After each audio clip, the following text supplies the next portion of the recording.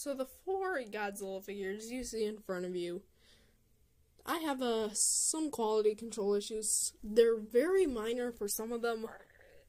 Excuse me. But anyways, I guess I need to address them. But first, let's start from right to left. But let's start with this guy. A long time ago, I got this guy from eBay. And I got this guy used. But this is mostly their fault. See? Crack. But then I also made a video where I hair dried the guy, this guy, and it just created that. Like what I was trying to do was I was trying to like pop it off and I could like super glue this part. Dang, that's speeding car. But anyways. But now just create a hole, so I'm probably not gonna play with this guy anymore because it's just gonna probably do that because the the bad thing is that this hole and the cut in the lip right there is they're connected. How I know this is because the hair made the head like really soft and squishy, and I could see like the crack lines. I can faintly see it right there. But yeah, that's mostly their fault, so I'm still counting that as a quality control issue. Or mostly at least their fault. Here, the Funko Pop Godzilla. Innocent little cuddly guy. Right? Well, yeah, right there is a bit of paint chip. And I remember in the vi- review and the unboxing, there was like a piece of red paint there, but I looked this way for some reason. I, I guess I was just trying to make him do the drop kick. But here, you can see, like, there was like the paint chip and it was like disconnecting. So I, I was just putting the guy on the shelf, and then I trip on something, can't remember what was. Boom. Just like bash her into the shelf. Boom. Bump. I guess it just, the force just kind of knocked the paint chip out of it. So yeah, probably will have to paint that or something. I don't know, it's very minor. 2014 here. Can you spot it? Well, if you did, it, well, if you didn't, I mean, it's the legs. I had them. Sorry, guys. A stupid update thing, a, a dumb no- notification for an update just blocked the entire thing. But, anyways, yeah, I had them kind of facing backwards, like going backwards more, because that, that way it's really tight. But if I put it regu- more regular, look what happens.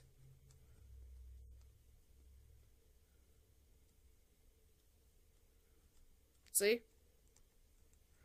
It's loose. Really loose. Same goes for this leg. Eh.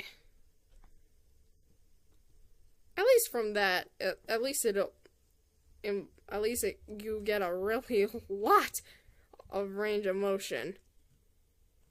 And when you put it the like up, it's tight still, so I'm probably gonna do that when I do stop motion, or if I ever do stop motion. I don't know. For my stop motion series, no one has requested any battles, so yeah, that's a slight quality control issue. And this guy is what I call the quality control Zilla, because this guy has a ton of them. Uh, right here, the head popped off, and then I guess this is my fault, but this has been happening on a lot of 94 sculpts, so I guess probably mine, but yeah, the head likes to pop off easily.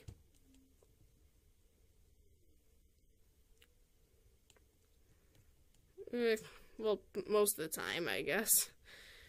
Right here is the worst one. See?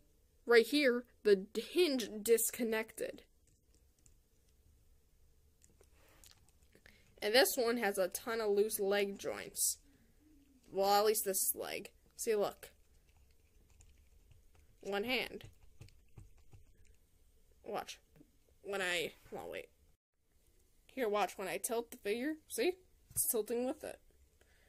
And this leg Alright, it can it kind of does at some angles, but that's only because it's more tight. So yeah. Loose. And so is the feet. Seriously, did they just give me the one that were like, eh, go ahead, just, just, here. And then it's the one with a ton of quality control issues. Eh, whatever. I'm so grateful. So yeah, these are just some of the quality control issues I have. So tell me in the comments, what kind of fig Godzilla figures do you own? Or any monster figures? Do you guys have any quality control issues? Let me know in the comment section below. Anyway, subscribe to the channel, like this video, and I'll see you guys in the next video. Bye.